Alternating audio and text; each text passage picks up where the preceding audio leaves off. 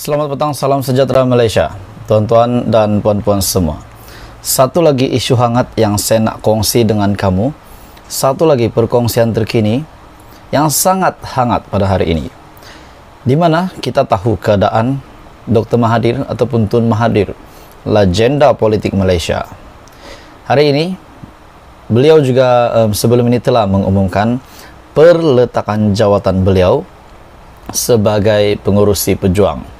Hari ini tuan-tuan dan satu lagi berita mengejutkan diterima um, Tun Mahathir di mana satu berita yang bertajuk Khairuddin meletak jawatan pejuang WP bubar. Jadi sebelum saya meneruskan berita dan isu hangat hari ini, saya meminta jasa baik kamu untuk tekan butang subscribe supaya kamu tidak terlepas perkembangan politik daripada channel ini. Khairuddin Abu Hasan yang meletakkan jawatan sebagai ketua pejuang wilayah persekutuan dan membubarkan Majlis Pimpinan Negeri MPN parti itu. Katanya, perjuangannya bersama parti itu tidak lagi relevan memandangkan pejuang telah menerima perletakan jawatan pengurusinya Mahathir, Mahathir Muhammad. Katanya, perjuangan saya dulu, kini dan selamanya hanyalah berteraskan dan berpaksikan sokongan kepada Tun Mahathir yang sentiasa kekal berprinsip dan tidak pernah menipu dalam mana-mana perjuangan untuk menegakkan kebenaran demi negara, bangsa maupun agama katanya. Sementara itu juga, tanpa menghuraikan lanjut, Khairuddin juga menyatakan, dia berkata, dia telah hilang keyakinan terhadap kepimpinan Presiden Mukris yang juga anak Mahathir. Pejuang dan rakan gabungan GTA ataupun Gerakan Tanah Air kalah teruk dalam PRU 15 yang lalu. Semua calon kecundang, malahan Mahathir dan Mukris sendiri hilang uang pertaruhan. Jadi bagaimana tuan-tuan dan puan apa komen Anda setelah Mahathir setelah Mahathir pun meletak jawatan sebagai Presiden Pejuang, tiba-tiba berita susulan yang um, berlaku hari ini, Khairuddin um, letak jawatan Pejuang um, jawatan Pejuang um, Pejuang WP ataupun wilayah persekutuan bubar. Khairuddin Abu Hasan yang meletakkan jawatan disebabkan Mahathir juga pun telah meletakkan jawatan. Adakah ini kejatuhan yang benar-benar nyata untuk Parti Pejuang dan bagaimana respon anak Mahathir, Mukris Mahathir. Dan apa pula respon Mahathir? Ya, walaupun beliau sudah meletakkan jawatan sebagai pengurusi pejuang, presiden pejuang, tetapi beliau masih lagi sebagai pengurusi gerakan tanah air. Khairuddin Abusan meletakkan jawatan sebagai ketua pejuang wilayah persekutuan dan juga membubarkan Majlis Pimpinan Negeri MPN Parti Pejuang. Katanya perjuangannya bersama parti itu tidak lagi relevan, memandangkan pejuang telah kehilangan presiden dan seorang eh, influencer bagi beliau di dalam politik. Katanya perjuangan beliau kini dan selamanya hanyalah berteraskan paksi sokongan kepada Dr. Mahathir yang sentiasa kekal berprinsip dan tidak pernah menipu dalam mana-mana perjuangan. Jadi adakah Anda setuju dengan kenyataan daripada um, Khairuddin setelah beliau meletakkan jawatan bahwa perletakan jawatan beliau ini um, kerana Mahathir tidak lagi menjadi presiden berjuang dan beliau tidak ingin menyokong um, kepimpinan Mukris Mahathir. Jadi apa komen Anda berita hari ini?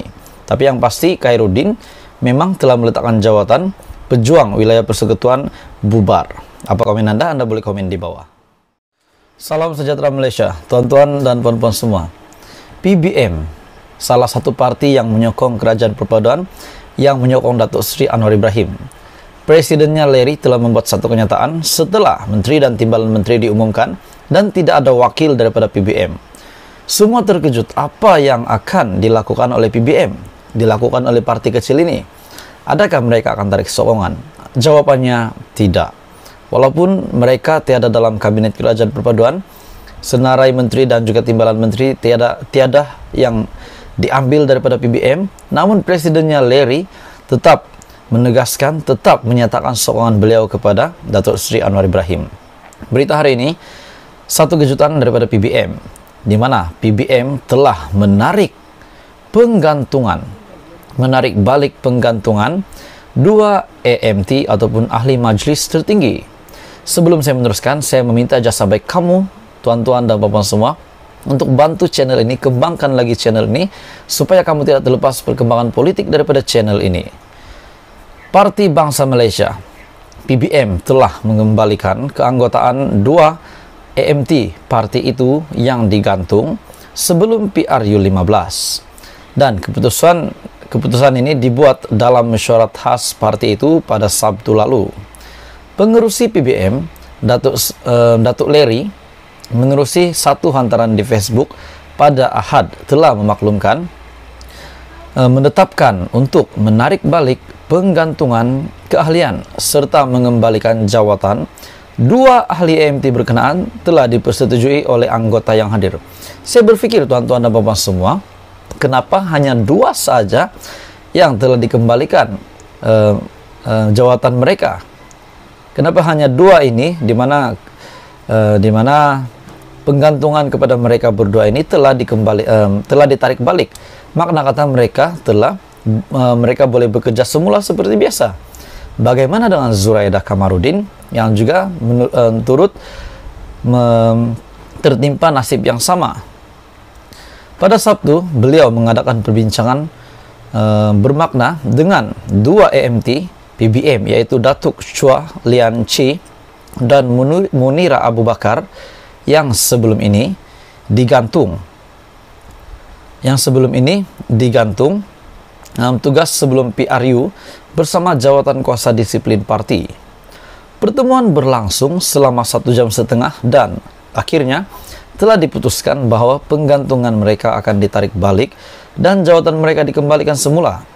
Manakala baki 10 lagi EMT yang masih digantung keahliannya dan tidak hadir pada mesyuarat tersebut perlu memberikan surat tunjuk sebab. Ujarnya, sekiranya gagal berbuat demikian dalam tempo seminggu, maka mereka bakal dilucutkan jawatan ataupun keahlian parti secara serta-merta. Namun, bagi mereka yang membalas surat berkenaan, nasib mereka bakal ditentukan oleh jawatan kuasa disiplin sebelum penghujung tahun. Dan sebelum PRU 15, beberapa ahli PBM telah digantung keahlian berikutan masalah perebutan kuasa dalam PBM pada akhir bulan Oktober. Antara yang terlibat termasuklah bekas ahli parlimen Ampang Datuk Zuraida Kamarudin, Dr. Daroya Alwi dan juga Dr. Satis Kumar Govindaraju. Jadi apa komen Anda berita hari ini? Di mana Zuraida Kamarudin um, masih lagi menjalankan penggantuan penggantungannya sebagai ahli di dalam PBM. Dan perkara ini berlaku um, ekoran daripada masalah perebutan kuasa di dalam PBM yang berlaku pada akhir bulan Oktober tahun ini. Jadi berita hari ini tuan-tuan dan bapak semua, PBM menarik balik penggantungan dua ahli majelis tertinggi PBM.